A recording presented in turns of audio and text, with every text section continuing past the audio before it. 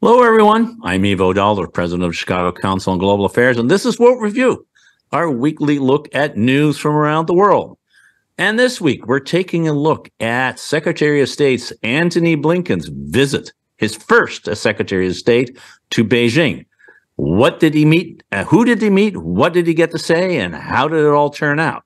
Then we'll take a look at the new national security strategy issued by the German government. It's first, and at the same time, the first uh, in, of this government's uh, meeting with the Chinese that was taking place earlier this week as well. And finally, diplomacy seems to be heating up with both Iran and Saudi Arabia.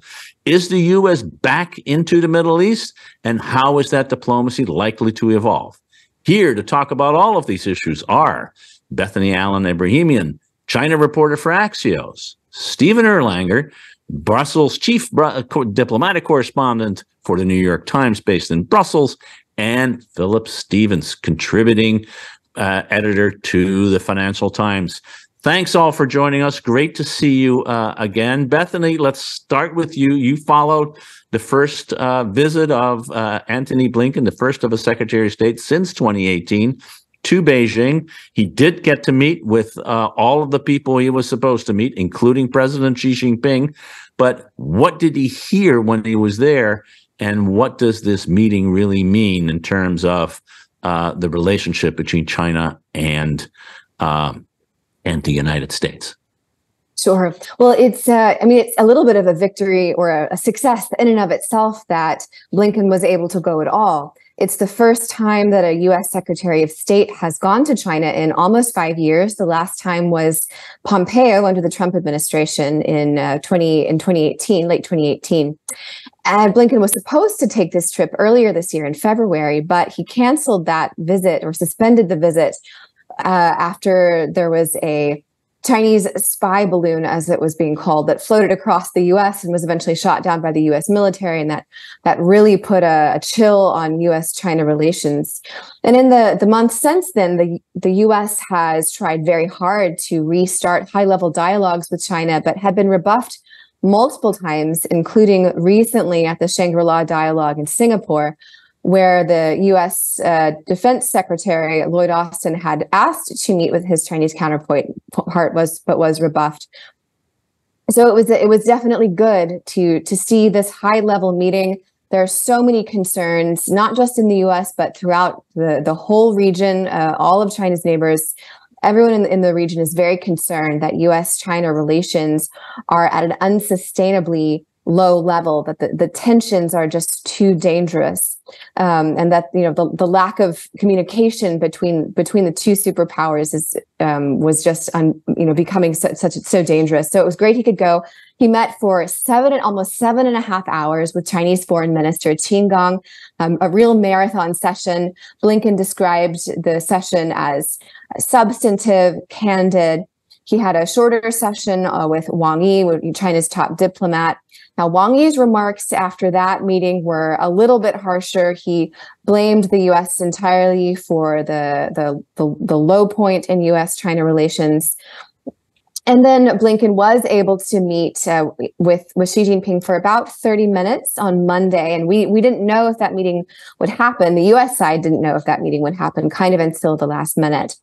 And uh, but the you know the readouts from these meetings, what what Blinken said about it in his press conference, and what the Chinese side said about it officially, were good. There were it was a low bar. There were you know the the State Department went into this saying that they were not expecting any significant deliverables, but that they wanted to maintain uh, to reestablish high level dialogue in order to responsibly manage competition. That is how the US is framing how they want their relationship with China to be.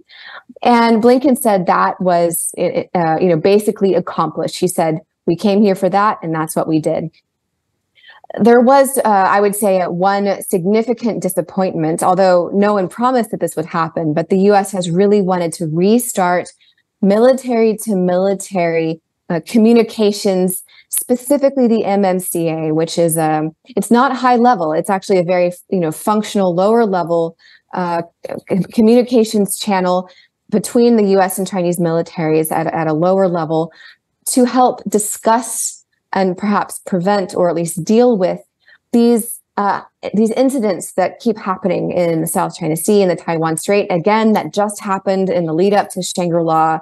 Uh, as the U.S. was transiting the Taiwan Strait with Canada's Navy, there was a, a dangerous interaction there, and also between two uh, airplanes, a U.S. Um, airplane, a, jet fighter, and a, a Chinese a PLA jet over the South China Sea to try to create the, the systems and the structures to prevent those kinds of dangerous maneuvers from spiraling into uh, you know a national or international military crisis so that so the chinese side refused uh, to restart those those communications so that's that's not great but but basically bottom line the us and china are talking to each other again Qin Gang accepted an invitation to come to the US when the time is right, when at a suitable time.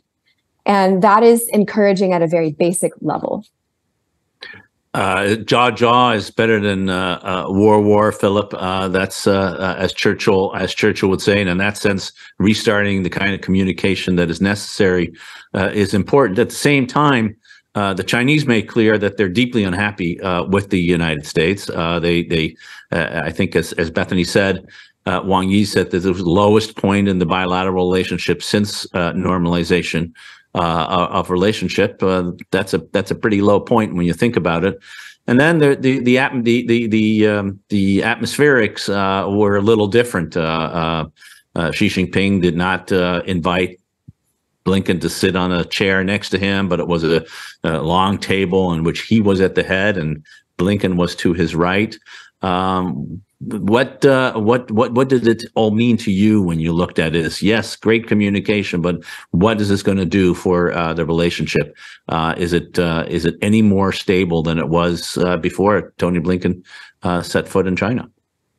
Yes, I think, as you said, by you know by definition, the fact that the two sides um, are now communicating, talking to each other, makes it more stable. And what Europeans will hope is that it provides a foundation stone, as it were, a, a base from which yeah, there can be further improvements in communications, in the military communications, and if you like, diffusing the immediate tension about Taiwan. You know, the great fear in Europe is of a, you know, a, of a, a miscalculation or a misunderstanding between the U.S. and China, which sees China try to preempt things and and basically take over Taiwan militarily, you know, in the in the quite short term. So anything that pushes it back, um, that back is good.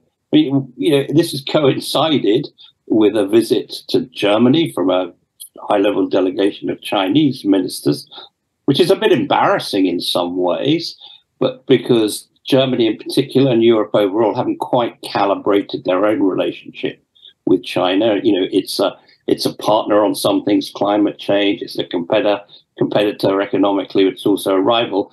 But you know, we're not quite sure where you know where the balance between those things are.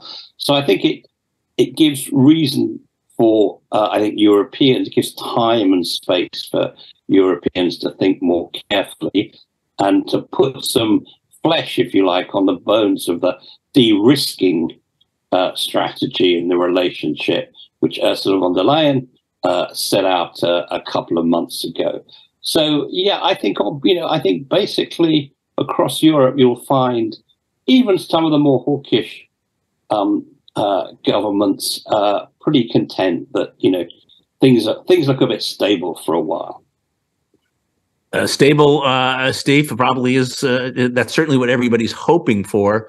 Uh, uh, interestingly enough, of, of course, uh, I think inside the United States, um, uh, he uh, uh, Blinken was was widely criticized for going because you know talking apparently is apparently war war is better than jaw jaw or talking is a form of weakness. It also comes on the heels of reports of a a new or at least refurbished Chinese uh, spying station in, in, in Cuba, which uh, some have taken as uh, as shocking proof that the Chinese spy on uh, on other countries, and uh, in and of itself, uh, an interesting an interesting perspective. But how would you characterize? Do you think that I mean, positive move, but still a long way to go or and, and how do you think it plays domestically which ultimately is what is the a if not the biggest constraint in some ways on uh, the ability of the administration to have this kind of managed competition uh, in the way that they're seeking it. Well i am shocked shocked that countries are spying on one another. I mean how dare they right? Yeah. no i i think your our two colleagues have been quite on the mark here. This is the beginning of it's like one step in a long, long journey to restore some sense of civility and and discussion between two countries that clearly see each other as rivals, competitors, and and and and potential enemies. Not yet. Let's be clear, not yet. Um, and Taiwan is one of those incredibly complicated issues. The US has tried to leave it as ambiguous as, as um, possible, but when President Biden starts talking about going to Taiwan's defense militarily, which we're not doing for Ukraine, by the way, if um, China should attack, uh, that rings terrible bells inside Beijing too. Uh, from Beijing's point of view, they can look and see that we keep saying, the United States, the West keeps saying, we're not trying to contain China, but you one has to wonder whether we actually are. Uh, Jake Sullivan, the national security advisor, talks about um, creating a special garden of, of, of specific technologies that we want to protect from from the Chinese or not allow the Chinese to have with a with a big wall. He talks about a small garden. Well, the Europeans think the garden is Texas size. This is what this is what really bothers them. And European officials who I've been talking to, I mean, they're certainly glad there's conversation going on.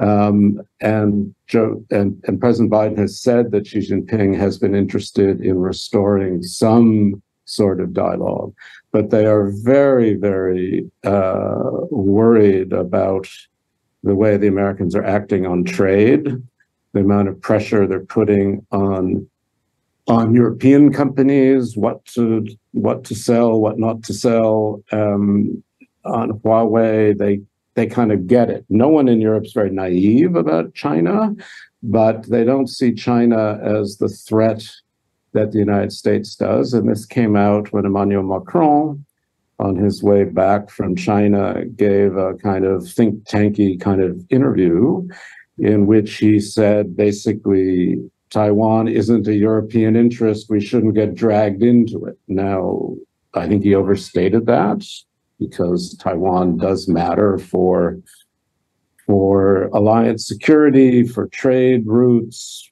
for frankly the world economy. Um, but uh, that gives you an indication. And there was a recent poll from the European Council on Foreign Relations of, of like 16,000 Europeans in 11 countries that said it was not very well phrased the question, but should there be a confrontation between the US and China over over Taiwan, 62% were kind of wanted to be neutral. Now, the question didn't ask what kind of support Europe would be providing. Maybe people thought the US expected European battleships, which I, I don't think Washington does but it gives you an idea of how nervous people are that you know Washington and China are going to end up destroying the world in the name of patriotism. Uh, uh, interesting, fascinating. Beth, Bethany, uh, just uh, finally back to you uh, on on on your perception of the Chinese um, uh, interpretation of what happened. I think I think uh, we, you and and, and others uh, really focused on the U.S. perception. I think that makes sense. It was a step forward.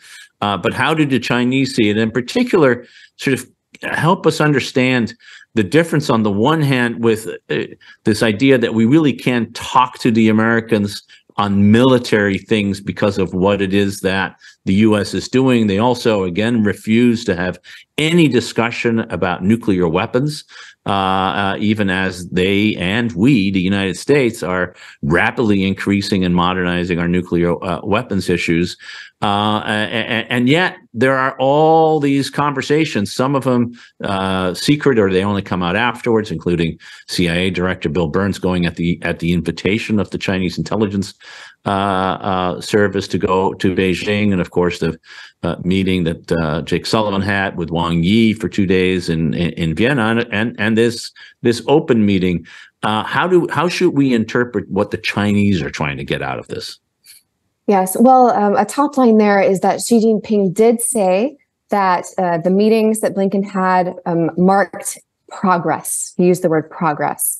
So he was casting it overall as positive. But uh, I think it's really important to, to distinguish that Chinese perceptions here are very different and Chinese goals are very different from those of the US. And there's sort of two different areas I want to look at. One of them is, you know, the US frame is we want to responsibly manage competition. Xi Jinping, in, in his statement, essentially rejected that frame. He said, uh, competition is not the trend of the world. You know, the competition between great powers is not the trend of the world. What he means by that is that's not how we're viewing this. How are they viewing that? You know, the, the Chinese side is harder in some ways. It's a harder line. What they're what they want to be saying is, no, you need to not do those things. You know, we don't want to try to have a give and take on what we can have in this world. We just want those things. And the, the Chinese side is more willing to push, more willing to to um, erode norms, more willing to take risks than the US side. And I it is, you know, I personally think that it, that's because the Chinese do not have a lot of experience, almost none, in fact, as a superpower, and don't feel that sense of responsibility towards the world that the US truly does, or, or you know, many people in the US do. And the other is the other point I want to make is kind of a corollary to that, and that is on this military to military communications, which I think is kind of a, a subset of the same the same phenomenon why wouldn't the Chinese military want to talk to the US military? What's the point of rejecting that? Here's the point. The, the Chinese position is that the US should not be doing freedom of navigation operations in the South China Sea or through the Taiwan Strait. This is bad behavior. We are not going to create safer conditions for the US to continue its bad behavior. That is China's position. And again, you see this sense of more willing to, I think, take certain risks. And why is that? Um, you know, newness to being a superpower. I, I also think it's possible possible that it's because China experienced a very different Cold War than the U.S. did. You know, we faced you know existential threats you know head on with with the soviet union and had to learn over a long period of time how to manage that you had to it was it was about the survival of humanity, truly. And China had a you know, China's Cold War experience. It was very closed and on itself. It had an argument with the Soviet Union. It didn't bear that burden. And I think that those memories live deeply in the US State Department, in the US Department of Defense, and uh, you know even in the in the minds of, of people who are you know who grew up in that era or people who are still alive like, like henry kissinger and still influential on the chinese side they don't have that experience. Their primary experience in the latter half of the 20th century was of not having any power not not having enough. Bethany, can i, I ask you just yeah no no go ahead. I think just, that's that, just, that makes I mean, a lot of sense. one quick question which is how much are the is it a matter of the Chinese being offended that we've sanctioned their their defense minister? So why would their defense minister talk to us if he's been sanctioned? I don't know how important um, this is, but it it seems to me worth mentioning anyway. Yeah, well, he was sanctioned already when they uh, when he was put in that position, mm-hmm. and I think that that is in itself a statement. What that's right. saying is, you know, it's a power move. In fact, mm-hmm it's saying, you know, we're we don't care about your sanction. If you want this thing that you say you want, which is dialogue, you're going to have to walk back from your position, which is sanctioning. And again, we're seeing this hard line, willing to take away dialogue in order to push the Chinese line. Um, I, I don't think it's a matter of offense. I, I think it's it's more a power move. Thank you. I think um, I think what we're saying, Philip. Do you want to jump in because I think this is a really important and interesting um, set of issues yeah, here. Yeah, I think. I mean, the only thing I'd say is that I think it's natural that the Chinese are going to be more assertive and take more risks because they're the power that wants to overturn the status quo. The US position is we want to pretend, so it's, it's naturally a conservative position. So the US and, and Europe, you know, that, that diplomacy will be necessarily about engagement. If you want to, you know, throw everything up in the air, which basically that's what China wants to do long term, it wants it wants to run the Western Pacific. Uh, the US is saying no. So, but I do think that China has learned a bit of a lesson in the last couple of years. One of its objectives has always been to split Europe from the US. I think what it's realized is that by being too aggressive in its relationship with the US, it tends to drive Europe back into in a sort of Atlanticist mode. So I think I think the Chinese are learning a bit about the sort of balance of diplomacy. So it's a Chinese diplomacy in Europe now is is much more or is much less aggressive than it was, say, two years ago. Yeah, I think that's uh, that that that's very true, and they're learning that that being too close to Russia may, in fact, be part of that problem as well. Yeah.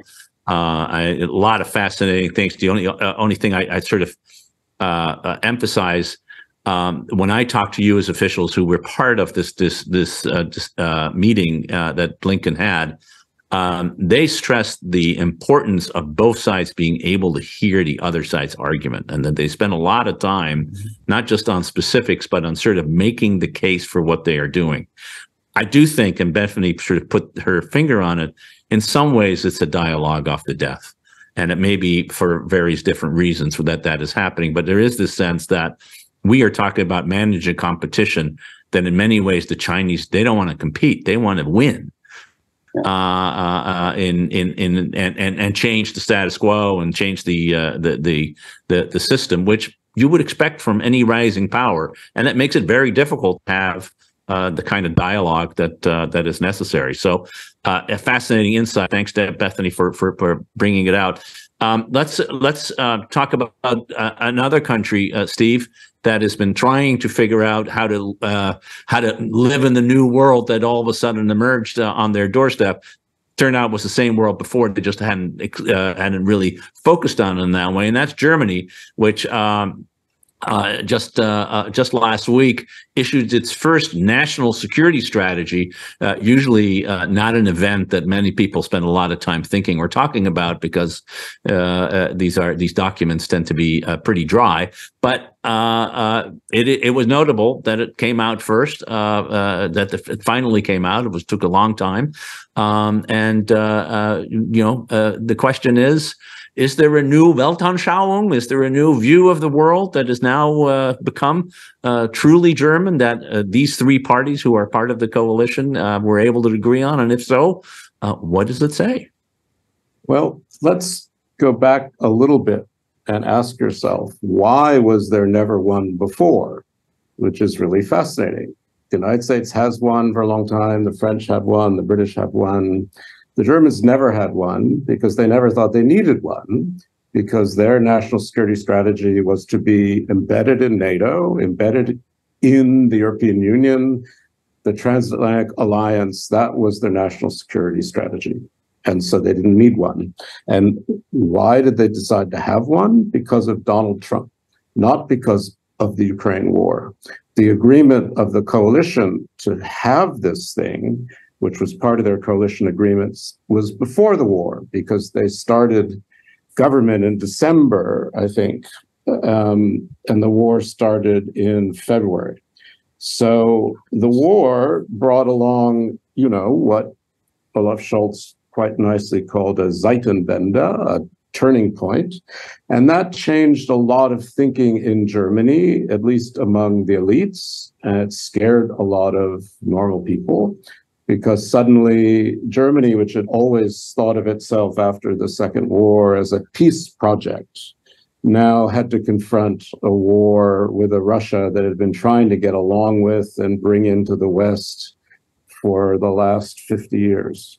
So this was a shock, particularly a shock to young Germans who had had 30 years of thinking that war happened somewhere else and that their whole rate, Germany's raison d'etre was to spread peace in the world and good feeling and be nice to Israel and so on and so on. So, so this has been a big shock. So then the coalition government, which is very split, as you know, it's run by the Social Democrats. In the Chancellery, the Foreign Office is run by the Greens, the Financial Office is run by the Free Democrats. They wanted to pull together a strategy that would be integrated security, which is their cliche, which was to talk about foreign domestic trade threats to Germany. And the fight over it lasted a very long time. One of the key elements everyone thought would come out of it, which was the German National Security Council, was dropped fairly quickly because they couldn't agree on it. And tellingly, given our our last discussion, uh, there's a whole separate paper on Germany's st- strategy toward China, which is coming out on July 5th. And why was it not part of the whole strategy? Because they didn't want it to come out when the Chinese premier was in Germany. They wanted to wait, which makes you wonder what the whole thing was about. I teased some German officials who worked very hard on this that the final result, which is like 46 pages, it's very nicely done. It looks like a travel agency brochure. It's full of nice pictures and it's sort of nicely designed. And it does express, I think, a quite good common view of where Germany is, where its friends are, where its threats are, but it doesn't advance our understanding very far. And the problem is its ambitions, which are real, are not matched by means um, because the means are financial. And Germany is always going to be fighting over budget spending. I mean, w- will they make 2% of GDP as they're supposed to by next year? Well, no.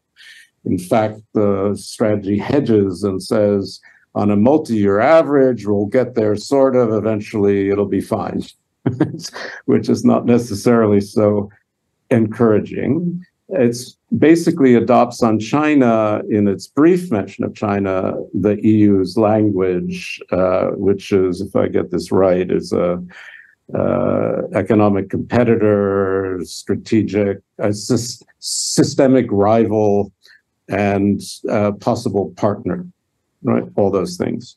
So I think it's really was a good exercise. The problem is it had too many chefs, uh, and the poor officials were trying to pull together, you know, a recipe from a, a lot of different points of view. Um, but it is a first step. And I think it's important because it's all part of Germany taking itself seriously and its own interests seriously. Um, and so I personally welcome it as an advance on a Germany that basically sits back and lets others decide everything about European security. Philip, uh, uh, Steve, I thought that that was a really uh, nicely nicely summarized uh, and and put well into place. But Philip, uh, aside from means, which has been, I think, the, the, issue that most people have commented on in terms of uh, you know the the the, the ends means disconnect, particularly in the defense area. In, in some ways, it also lacks strategy. It, it's supposed to be a national security strategy, but it kind of reads like uh, here's how we think about the world is, but it doesn't really say or have a lot about here's how Germany is going to act in that world. Uh, and as the largest, most important European country, um, the the absence of that strategic, not just visionary, but strategic sense um, is, is, somewhat surprising, given that this is supposed to be a national security strategy document. I think that's absolutely right. But I think, to be fair to Germany, most national security strategies um, are more descriptive than prescriptive.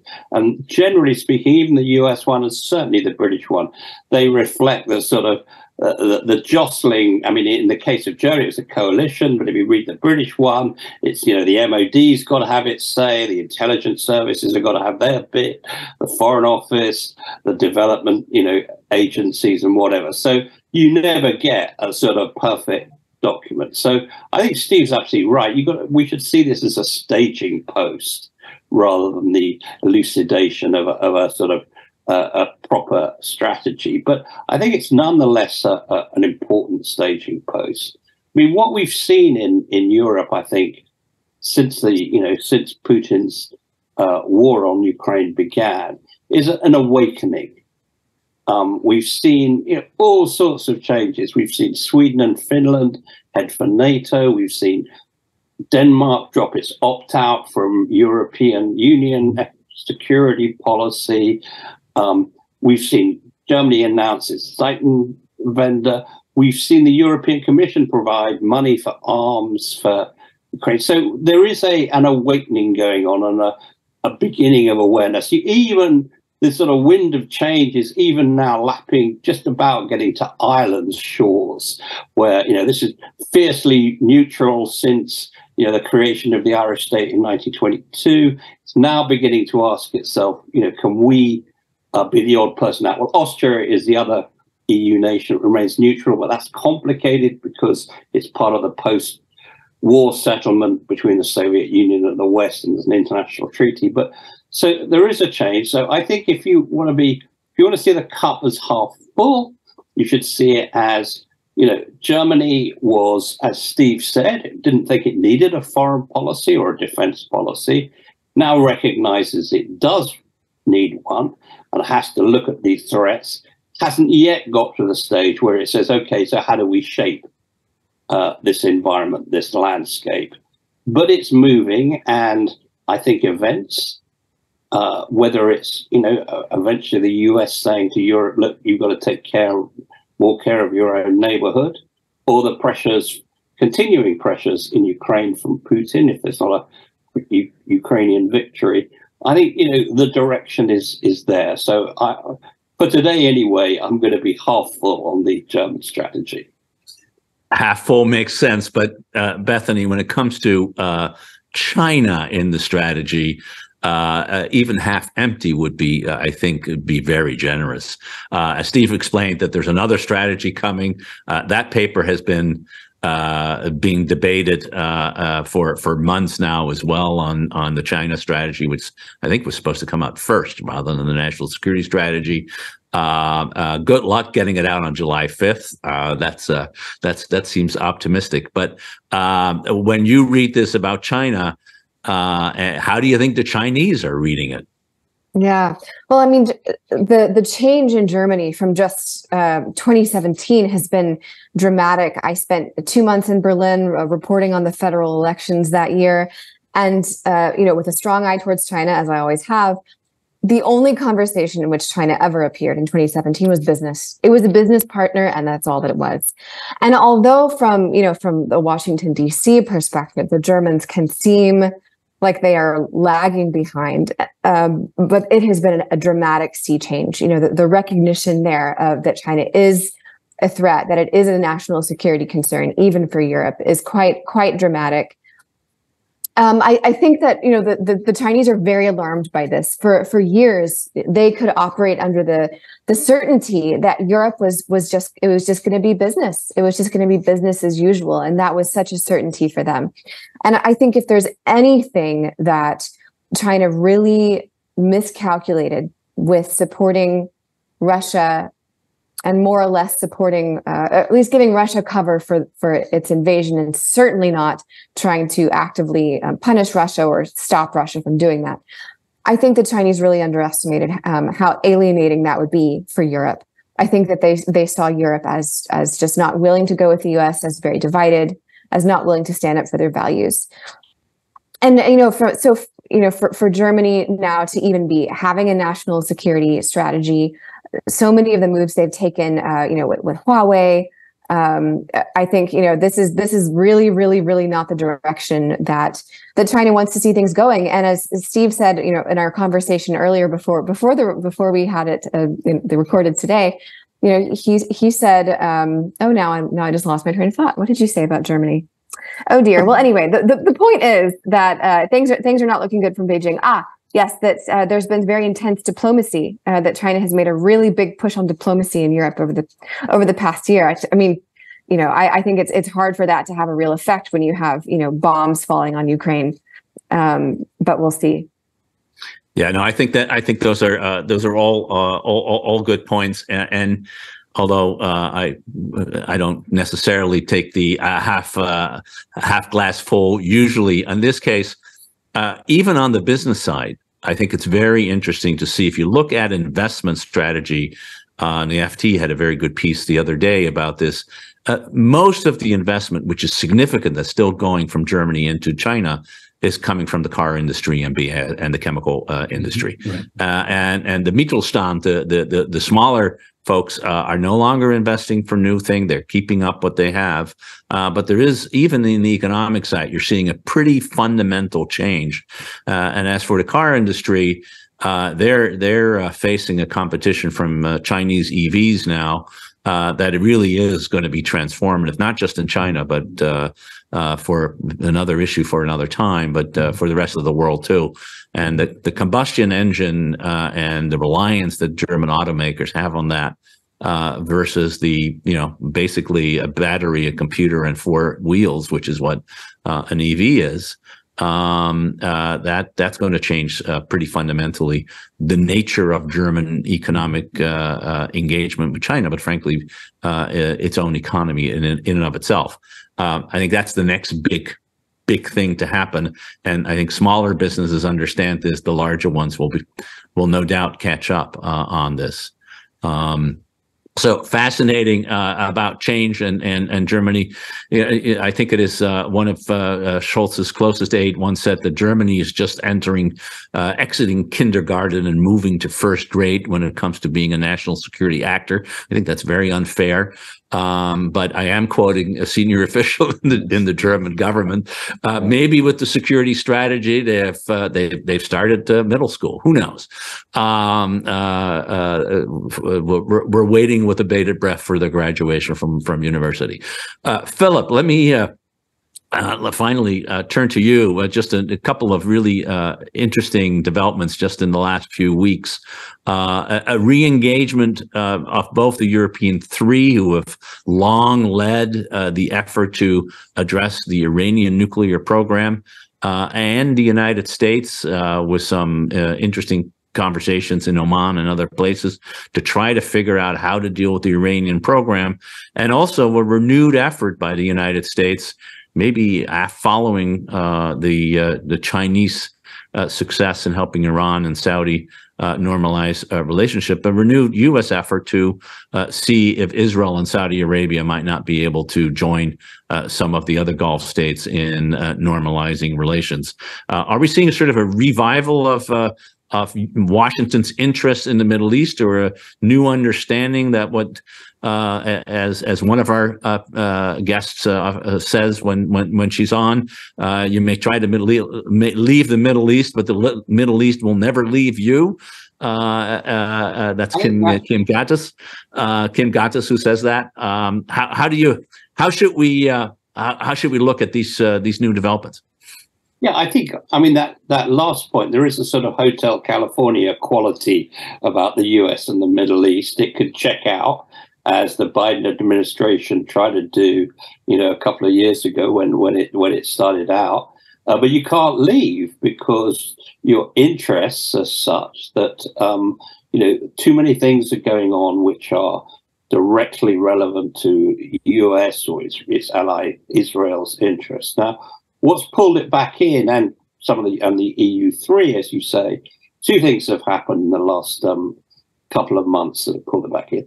The first was the discovery that by um, uh, International Atomic Energy um, inspectors in Iran, that Iran is now has the capability, at least, to process re- uranium up to 83%, which is, they found some dust. They did an inspection, they found some dust which showed this. Well, that's, you know, to make a bomb, you need it 90% plus. So they are just short of that, but not very far. Also, they have very large stocks now since the since the Trump administration pulled out of the, the of the old international agreement, the JCPOA, the Iranians been building up very large stocks of fairly high, high highly processed uranium, sixty percent. So there's now a view that you know, look, Iran has got enough uranium that if it pushed for the last stage of processing, it could be there maybe in six months, a year. So there's an urgency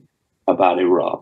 There's also, I think, a sense that the Iranians, having faced all these protests at home, domestically, um, feeling the pain now of sanctions, are in the market perhaps for some sort of arrangement, not a reconstitution of the JCPOA, but at least for some, at least interim deal that would would freeze things as they are. So the US, you know, obviously now, you know, doesn't want to see, you know, six months' time or a year's time, Iran, you know, be announcing itself as a, if not, a, you know, if not a complete nuclear power, a threshold state. So, so that's pulling both the, the US and America back into discussions with Iran. With the US, I think they're sort of secret and third party and whatever, but there are discussions going on. Saudi Arabia, as you said, I think the um, I think the administration was caught off balance. Um, by the fact that China mediated this diplomatic truce between Saudi Arabia and Iran. Um, but I think also the signs of this revival of the possibility of Saudi recognition of Israel, and so you know a restart for the Abraham's Accord, have basically persuaded the administration that they they should see whether there is something there because you know, if Israel and Saudi Arabia and Israel are going to do a deal, as it were, in which Saudi Arabia recognizes Israel and begins to normalize relations. The Saudis are going to want things from the Americans, and the Israelis are going to want things from the Americans in terms of security. So, you know, that's a deal that really that can't be done bilaterally. It needs American mediation. So, I think the administration has said, "Well, look, you know, this is far from certain, very difficult." but we should we should try and we should, if you like, send a message that we haven't completely left the region. We haven't just said, you know, look, we're out of there forever. So, but I mean, I think on both counts, a deal with the Iranians is going to be incredibly difficult. A deal that that you know, because the Iranians want some relaxation of sanctions, you know, in order to sort of hold things, I think, as they are.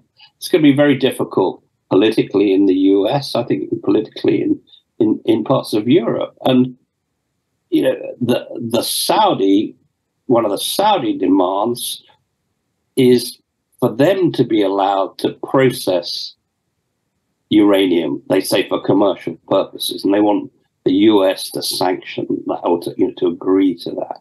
That's a very, very big call for the Biden administration. So, you know, it, this is this looks so use the analogy we were doing about earlier. This looks a bit half empty to me, but you know we should. I, I think you know the fact that the US is re-engaging diplomatically is good because it's always good, as we were saying with China.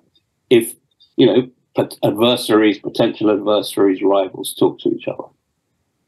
Uh, we only have a few minutes left, but Bethany, I wanted to uh, ask you do the Chinese see this re-engagement as a response to what they were trying to do, and uh, and, and, and that this is a re-engagement in terms of competition with the Chinese, or are they seeing this? Well, no, there's some problems here. They need to be addressed, uh, and it wouldn't it be good if we address them to uh, uh, uh if the U.S. can address part of it and we can address part of it? Is it win-win, as they like to say, or they see this as zero sum? Well, in the Middle East, uh, the the Chinese have have pretty typically tried to at least rhetorically walk a pretty delicate line. And you know, they the, the Chinese have long engaged in talks with the Taliban, hosted talks with the Taliban and for years and years and years. We're always very quiet about it. You know, never tried to make it an issue of competition, at least not not formally or not um, explicitly. And we also saw that, uh, you know, in in the recent uh, negotiations with Iran and Saudi Arabia, although they they were a little bit a little bit more obvious uh, in in their intentions of sort of challenging the U.S. in the region by even just by addressing this very issue, going after this very issue. But for example, in the Iran and, and Saudi Arabia talks, they avoided using English uh, as one of the languages. You know, they they they had Chinese and they had translators and others, but they they didn't use English as a as a as a common language there. And that's there's only one reason that you do that, and that's to make a point, right? So it's it's not clear. Uh, they they haven't signaled th- that I have seen. They haven't signaled a, a, a displeasure in the U.S. reengagement, and and they do that because they are trying to to to say to make the point um, that that they simply belong to be there, that they have things to offer, that they can be constructive. Now, that can be true and china can also be doing it as a you know a geopolitical uh, influence move which they most certainly are. And we saw that uh, last week you know um, uh, the, the president of the palestinian authority uh, what his name abbas abbas what his name? Uh, was was uh, recently was was just in beijing.